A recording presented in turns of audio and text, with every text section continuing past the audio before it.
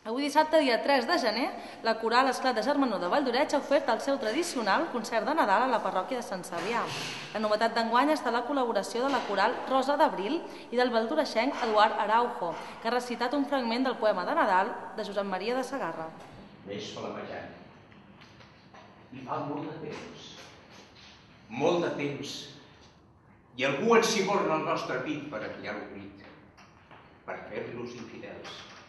Però retorna cada any aquesta nit.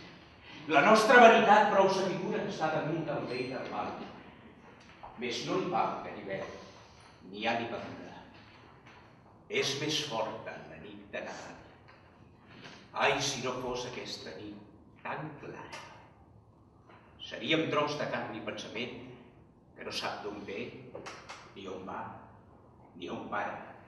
Vell d'home arrossegada pel corrent, la dona ens ha pintat el rostre amb un vermell precís i decidit i ens dona un sentiment de llac, de sostre, de terra, de nissaga i d'esperit. I ens dona un punt d'humilitat de cendra per estimar un racó dintre l'espai i ens fa pensar en aquell blau tendre que hem volgut escallar i que no mor mai.